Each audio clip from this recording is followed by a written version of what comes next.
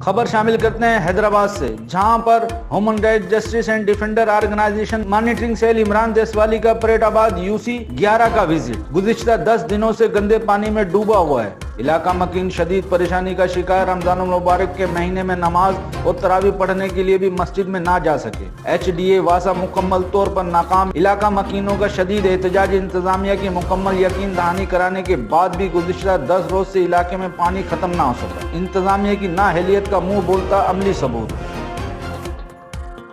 मजीद खबरों और अपडेट के लिए विज़िट करें हमारा YouTube channel H R news.